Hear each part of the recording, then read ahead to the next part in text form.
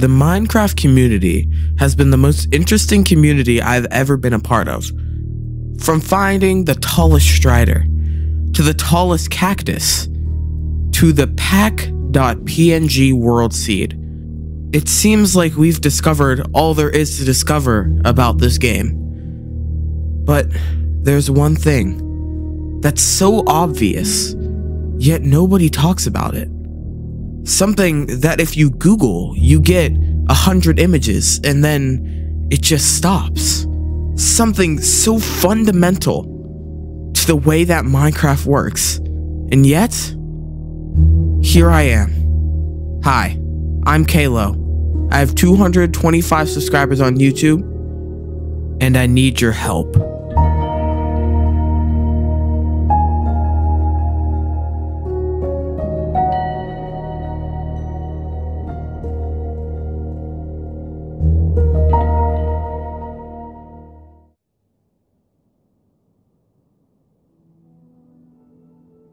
By now, I would assume a lot of you are intrigued, but before that, I wanted to tell you that 95.2% of my viewers are not subscribed to my channel.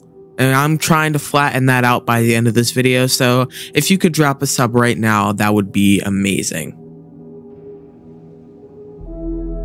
On April 16th, 2020, a young inspiring 15 year old YouTuber decided to upload a video about finding 10 diamonds in a single vein.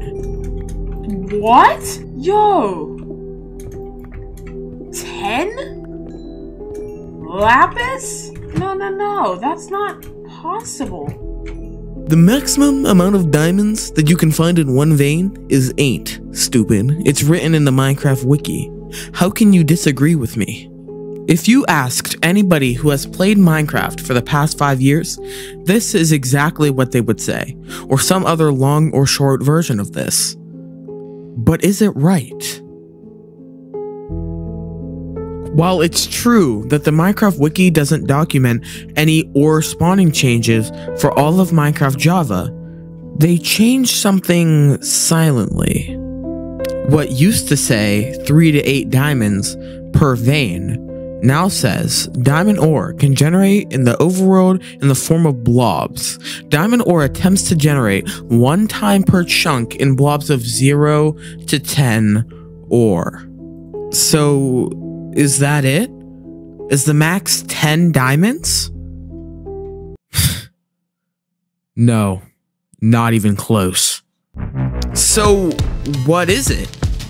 Is it 1.5 times as much? Maybe even two times as much? We might be stretching it, but maybe even 2.5? 2.7? what if I told you it was four times that?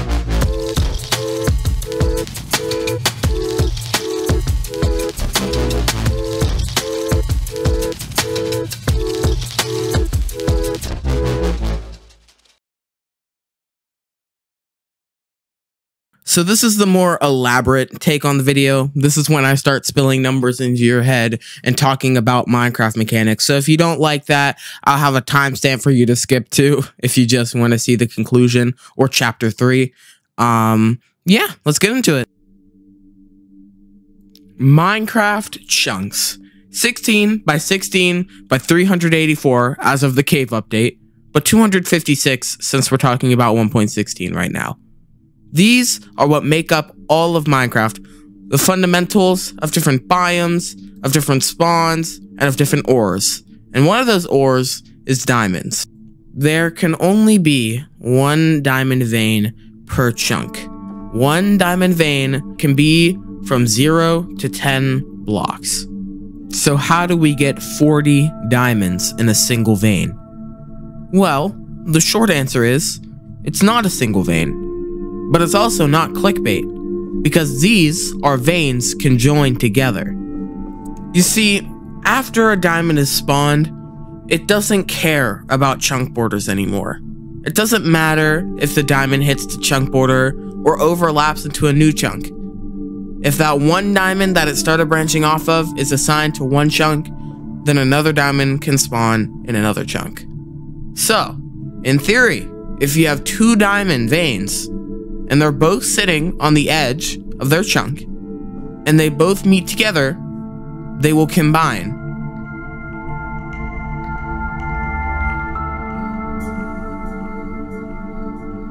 Say, by random chance, those two veins that are connected together by also random chance are both 10 diamond ore.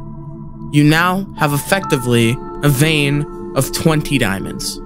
The only difference between this vein and a standard vein is that this vein is at a chunk border and it also has way more diamonds.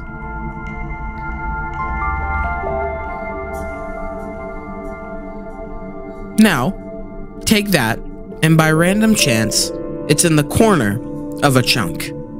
Chunks are laid out in grids. Squares and grids means that there's a point on the square that is intersecting with three other chunks. Say these three chunks also spawn diamonds at the corner by chance.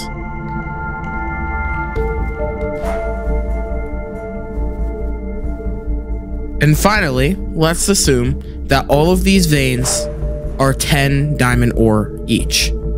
We now have a grid from each chunk carrying 10 and a singular point, meaning they're able to be connected. And that gives us a 40 diamond vein.